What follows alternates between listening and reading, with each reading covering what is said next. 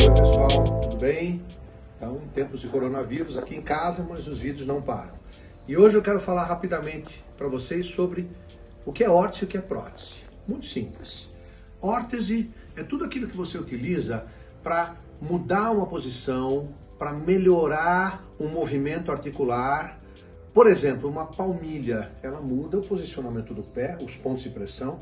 Uma órtese para joelho, ela pode fixar o joelho numa posição, ela pode mudar e melhorar a posição do joelho que tem um problema.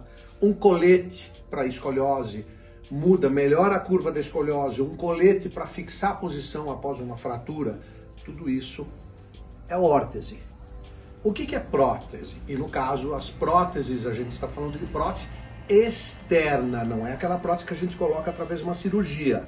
Então, a gente chama isso de, de prótese externa, não se esqueçam. Exopróteses. Então, é tudo aquilo que a gente utiliza após uma amputação. Então, uma pessoa amputou aqui o antebraço, ela coloca uma prótese que vai substituir o membro que ela perdeu.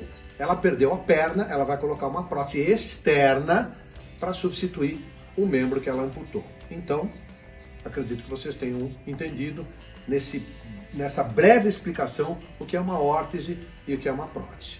É isso aí, pessoal. Até a próxima.